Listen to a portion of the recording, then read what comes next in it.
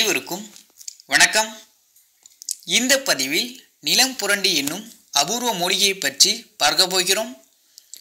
நிலம் புரண்டி என்னும் மூலிகை மனிதர்களின் வாடைப்பட்டதும் நிலத்துக்குள் சென்றுவிடும். அதனால்தான் இந்த மூலிகையை நிலம் புரண்டி மூலிகை என்று கூறுகிறார்கள். இந்த நிலம் புரண்டி என்னும் மூலிகை மண்ணில் புதைந்துள்ள புதையலை கண்டுபிடிக்க உதவுகிறது. முதலில் இந்த நிலம் புரண்டி மூலிகையை கண்டுபிடிக்க வேண்டும். அதற்கு நாட்டு மருந்து கடைகளில் கிடைக்கும் தேற்றான் கொட்டையை வாங்கி கையில் வைத்துக்கொண்டு செல்ல வேண்டும்.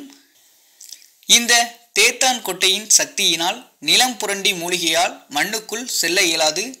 மேலும் இந்த நிலம் புரண்டி இருக்கும் இடத்திற்கு சென்றவுடன் தேற்றான் கொட்டை வெடிக்கும் அல்லது சலசலவென சத்தம் கேட்கும். அது மட்டுமல்லாமல் தேற்றான் கொட்டை நழுவி கீழே விழுந்துவிடும்.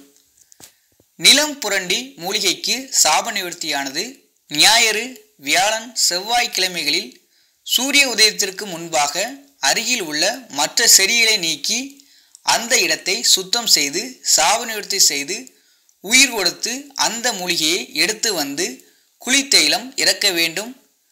குளித்தைலம் இறக்கிய பிறகு அந்த தைலத்தில் பச்சை கற்பூரம் சவ்வாது கோரோசனை இவற்றை சம அளவு கலந்து குழைத்து சேமித்து வைத்து கொள்ள வேண்டும். பின்பு தேவைப்படும் பொழுது வெற்றிலையில் தடவி பார்க்கும் பொழுது கண்களுக்கு புதையல் தென்படும். நன்றி வணக்கம்.